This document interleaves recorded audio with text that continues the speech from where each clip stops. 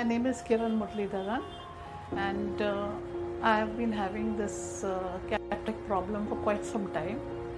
Uh, it's difficult, but I was too afraid to go to the doctor because I had seen the olden cases that were there where you have a bandage and dark glasses and a lot of problems. Since I'm a single woman and I have to do a lot of my own work myself, I postponed it. This time I really needed to do because I couldn't drive and do other work. So I consulted a friend of mine, uh, Dr. Vikram Thakkar, who's a clear, a dear friend of mine. And he said, You must go to him. I had come to Dr. Kenia about two years back. This time I made up my mind and I came to the doctor. He's a very kind and good person. He explains to you correctly. The people around also, his staff, very large staff that he has, are very good kind. So you feel very comfortable. So he explained to me the whole procedure and previously he had given me a CD where I had gone through where he explained that this is the way we go about it because I didn't know anything about this sort of latest technique that is required.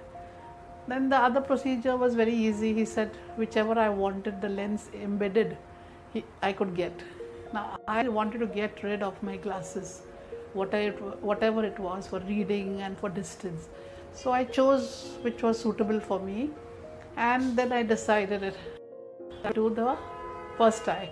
That was the left eye. So I did that April on the 1st of April, and it was so good at it came out so well, and I could see that on the third day I decided that I will do the next eye on after Easter Sunday, that is on the Monday, that is today. Results are good. You can even do your work immediately after getting your eyes uh, lens changed. So now I'm sitting over here. Experience is very good. I would recommend a lot of people to get it done immediately.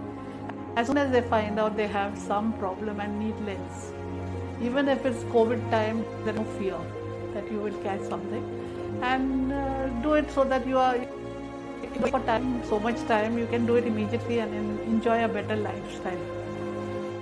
I would recommend a lot of people to please get in touch with Dr. Kenia and come for consultation and do it immediately. Thank you.